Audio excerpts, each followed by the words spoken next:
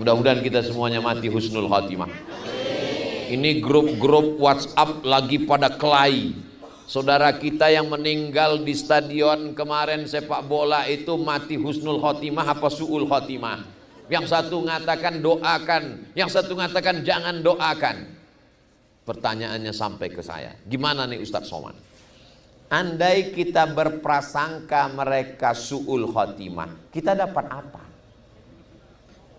Andai kita berhusnuzon mereka husnul khotimah dan kita doakan semoga husnul khotimah, maka malaikat mengatakan amin walaka misluh doamu dikabulkan semoga kau juga dapat husnul khotimah. Sekarang saya nanya, lebih baik husnuzon apa suuzon? Terserah, saya nggak mau maksa saya, ikut saya.